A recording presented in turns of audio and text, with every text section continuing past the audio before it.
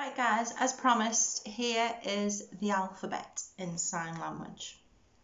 So we have A, B, C, D, E, F, G, H, I, J, K, L M N O P Q R or that way R S T U V W X Y, Z.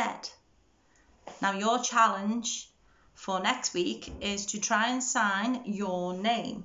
Either do your first and surname um, or just do your first name. It's fine, whichever.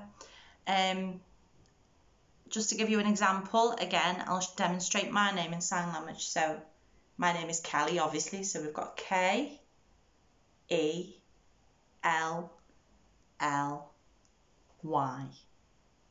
Okay, so I'll look forward to seeing your names in sign. Take care.